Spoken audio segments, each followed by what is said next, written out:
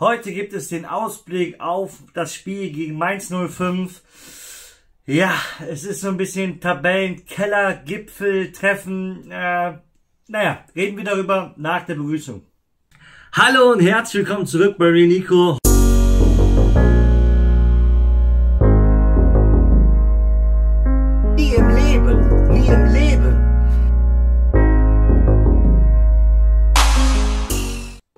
Freunde, erstmal schön, dass ihr wieder eingeschaltet habt. Äh, ich wollte mich an erster Stelle für den gestrigen Stream bedanken. Wir haben ja gestern so ein bisschen zusammen das Rhein-Derby geguckt. Ich hätte es mir so oder so reingezogen, hatte euch gefragt, ob ihr das beim Livestream mit mir gucken wollt. Und äh, es hatten sich dann doch einige gemeldet gehabt, die waren auch beim Stream dann am Start. Das fand, hat mich sehr gefreut. Ihr wisst ja, ich komme aus der Ecke, ich wohne zwischen Köln und Leverkusen, von daher hat es gestern ergeben. Ist aber natürlich nichts, was jetzt häufig vorkommt oder so. Es war einfach nur eine Ausnahme. Und äh, ja, heute ist wieder voller Fokus auf Werder. Vor allen Dingen voller Fokus auf unseren nächsten Gegner, Mainz 05. Ich habe mal so ein paar ja, Eckdaten gerade rausgesucht, die die einzigen sind, wo ich die Statistik interessant finde. Und das ist nämlich die Tabelle. Ähm, die also das mal kurz zur Erklärung. Ich finde nicht Statistik interessant, wie wir die letzten 100 Jahre gegen Mainz gespielt haben. Ich finde interessant, wie Mainz aktuell drauf ist und wie wir aktuell drauf sind. Und das sollten wir vielleicht äh, mehr in Betracht ziehen, als wir die letzten, ja, gefühlt 100 Jahre gegen Mainz waren. Also, äh, Mainz hat aktuell 6 Punkte, eine Tordifferenz von minus 13 und ist auf dem 17. Tabellenplatz. Was heißt das für uns? Eigentlich nur eine Sache. Ganz, ganz klar Pflichtsieg. Absolut Pflichtsieg. Hier gibt's auch kein Unentschieden, hier gibt's kein gar nichts, hier gibt's einfach nur ein Wort und das ist Pflichtsieg gegen Mainz wirklich wieder wegen dem individuellen Fehler zu verlieren oder gar unentschieden zu spielen, wäre eine Tragödie. Sind wir ehrlich. Also da, da gibt es auch nicht gar nichts schön zu reden. Ich will es vorab jetzt schon mal so hart sagen.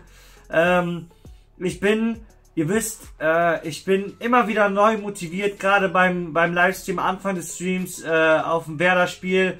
Ich habe richtig, richtig Bock. Wir, wir werden auch wieder richtig Laune machen werden Vollgas geben, aber genau das ist das, was wir auch von der Mannschaft erwarten. Vollgas geben auf dem Platz. Jetzt müsst ihr realisieren, jetzt müsst ihr checken, dass wenn wir dieses Spiel verlieren, hat Mainz 9 Punkte, 2 Punkte hinter uns. Gleichzeitig könnte sowohl Köln, beziehungsweise könnte Köln uns wieder äh, überholen, wenn die am Wochenende gewinnen. Und Bielefeld bei 10 Punkten auf 1 Punkt auf uns ranrücken. Dann wären wir mitten im Abstiegskampf. Also je nachdem, wie die anderen Spiele in der Tabelle ausgehen, wenn wir nicht gewinnen, sind wir voll im Abschiedskampf mit, mittendrin. Und das, da überwintern wir. Auch wenn die Winterpause kurz, da überwintern wir dann. Allein für das DFB-Pokalspielen. Allein für uns Fans, die nicht ins Stadion können, die das Ganze vor dem Monitor mitverfolgen, die auch im, in, in, jetzt auch egal ob bei mir im Stream oder in anderen Streams aktiv sind, diese Mannschaft verfolgen und pushen bis zum geht nicht mehr, müsst ihr da draußen echt Vollgas geben. Wirklich uns zeigen, dass wir nicht einfach nur nonstop enttäuscht werden durch einen individuellen Fehler nach dem anderen, sondern dass wir jetzt begriffen haben, dass wir Punkte holen müssen. Spätestens jetzt. Lass uns jetzt nicht mehr über die Vergangenheit reden. Wir wollen jetzt sehen. Wir wollen jetzt was sehen. Wir wollen jetzt abliefern. Ich meine, wir haben elf Punkte. Wenn wir dieses Spiel gewinnen sollten, und das müssen wir gewinnen. Also eigentlich, die sollten ist schon Quatsch von mir. Wir müssen dieses Spiel gewinnen. Da haben wir 14 Punkte und 18er Abstand auf Mainz. Also wir können gegen Mainz direkt zum Tabellen 17. 8 Punkte Abstand schaffen. Das muss doch ein Ziel sein. Das muss doch in den Köpfen drin sein. Ihr habt doch keinen Bock, wie letzte Saison so ein Krimi hinzulegen.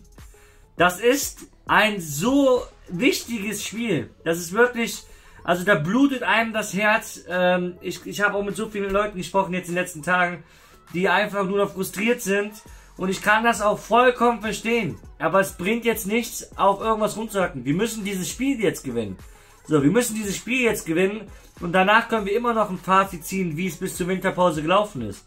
Jetzt gerade ist es nur wichtig, was in diesem Spiel passiert. Und dann geht der Fokus auf Hannover und DFB-Pokalspiel. Ganz klar. Ja. Also, ich will mich gar nicht in so, ein, in so eine Wutrede oder sowas reinreden oder so emotionale. Aber es ist halt so, dass, ähm, ja, wenn ich mal überlege, dass wir wirklich teilweise auch keinen schlechten Fußball spielen, dass uns eigentlich einfach nur was fehlt, im Sinne von vorne. Wir brauchen mehr, wir brauchen mehr Torszenen. Wir brauchen, wir müssen gefährlicher werden vom Tor. Wir müssen aber auch mehr Szenen rausspielen, die zu einem Tor führen könnten. Genauso müssen wir gucken, dass wir, und das ist, damit fängt, das steht und fällt ganz viel, keine individuellen Fehler mehr, die zu einem Tor führen und dann nicht wieder fokussiert genug sind, um wieder ranzukommen. Das darf nicht passieren. Also erstmal darf so ein individueller Fehler nicht passieren und wenn so einer passiert, dann darf das nicht sein, dass sie wegen so einem äh, Fehler verlieren. Da muss die Mannschaft nochmal 200% mehr geben, absolut Vollgas, Volldampf und sagen, und jetzt wir wollen nicht, dass über diesen Fehler gesprochen wird. Jetzt machen wir nochmal richtig Attacke und versuchen da die Punkte zu holen, damit dieser Fehler vergessen wird. So. Da muss man Kampf, Leidenschaft und Bereitschaft zeigen. Und das will ich sehen. Das will ich einfach sehen. Ich werde auch langsam, ich weiß nicht. Ich, ich, ich, äh, ich muss auch ganz kurz noch einmal sagen, ich werde auch keine Aufstellung in diesem Video hier machen. Warum werde ich keine Aufstellung machen, kann ich euch erklären.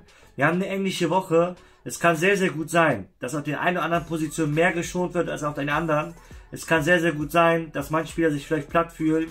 Das heißt, egal welche Aufstellung ich jetzt mache, ich würde niemals eine äh, Aufstellung machen, die 100% genauso ist.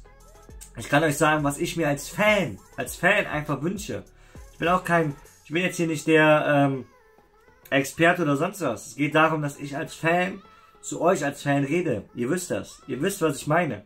So, ich wünsche mir einen Schmied in die Startelf. Ich wünsche mir einen Argo in die Startelf. Das sind Positionen. Damit fängt schon mal viel an. Ist so. Damit fängt schon mal viel an.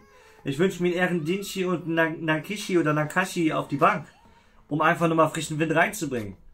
So, das, das sind meine Wünsche. Was man damit anfängt oder was daraus wird, keine Ahnung. Aber das kann ich euch sagen. Das sind Sachen, die ich gerne sehen wollen würde. Ja. Wie gesagt, wir hatten kein schwieriges Auftaktprogramm. Das muss man so sagen. Da gab es andere Vereine, die hatten es deutlich schlimmer. Wir hatten kein schwieriges Auftaktprogramm. Wir hatten jetzt harte Spiele hinter uns. Jetzt kommt ein Spiel, wo wir einfach auch wieder in der Favoritenrolle mal wieder sind und dieses Spiel auch gewinnen müssen. Danach geht es nochmal am 23. gegen Hannover. Und dann heißt es DFB-Pokal, äh, eine Runde weiterzukommen. Und dann ist es wirklich nur anderthalb, zwei Wochen Pause, äh, bis die Saison wieder weitergeht. So, und das, für uns als Fans ist das sau geil, aber für, für die Spieler, wie gesagt, der Fokus muss dann da sein. Der Fokus muss dann einfach da sein. Das alles andere macht keinen Sinn. Am 2. Januar geht's weiter. Zwei, überlegt euch mal. 2. Januar geht's weiter gegen Union Berlin.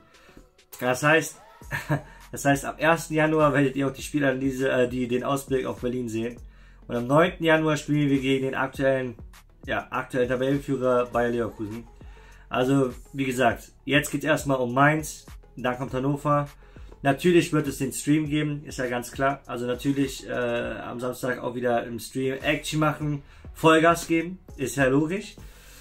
Wir werden aber je nachdem eventuell Freitag auch die Livestream 11 schon bauen. Warum, erkläre ich euch noch. Ich weiß es aber noch nicht. Es kann auch sein, dass wir die trotzdem Samstag bauen. Ähm, ich werde euch da noch Bescheid sagen. Und jetzt ganz wichtig an die ganz, ganz treuen Leute. Ich habe gestern eure Nachrichten gelesen unter dem Video. Wirklich, wirklich vielen lieben Dank an alle Videovorschläge.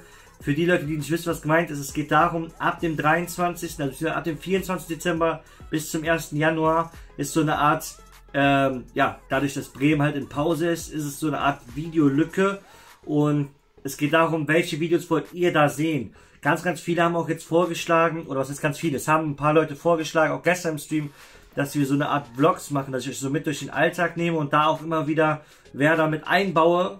Ähm, ja, und vielleicht so eine Abwechslung schaffe zwischen äh, Einblicke zu mir, zu alten äh, Zeiten von Werder. Ähm, ja, schreibt mir gerne eure Meinung in die Kommentare. Schreibt mir rein, ob ihr darauf überhaupt Bock hättet. Ob ihr vielleicht noch andere Videoideen hättet. Einfach rein damit. Wie gesagt, äh, es ist keine lange Pause. Es geht wirklich nur um ein paar coole Ideen. Ich habe mir drei Sachen gestern schon aufgeschrieben, äh, die ich spitze fand. Und da müssen wir mal schauen, was wir daraus machen. Naja, wie gesagt, wir sehen uns morgen wieder beim nächsten Video spätestens. Ähm, und ja, Samstag werden wir absolut Vollgas geben. Bis dahin, euer Nico und ciao.